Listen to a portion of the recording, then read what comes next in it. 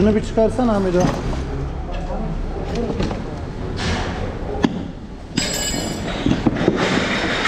Yan yana koy.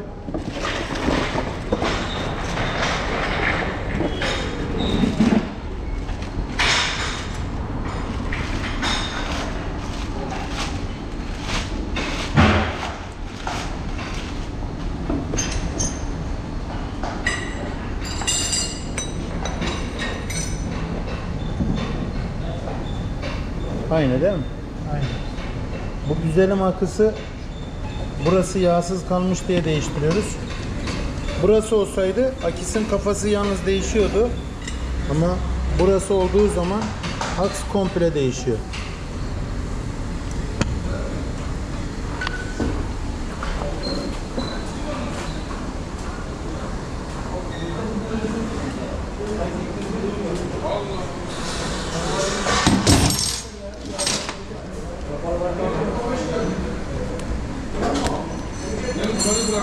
Kemal.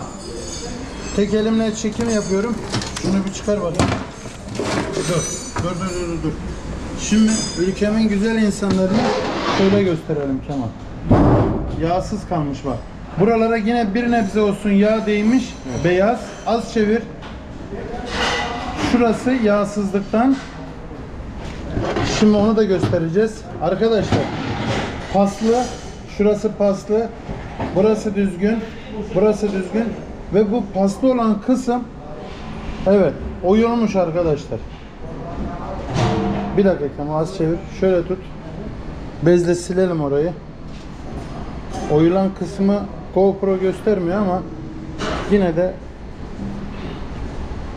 şöyle yapalım. Evet. Şurası oyulmuş.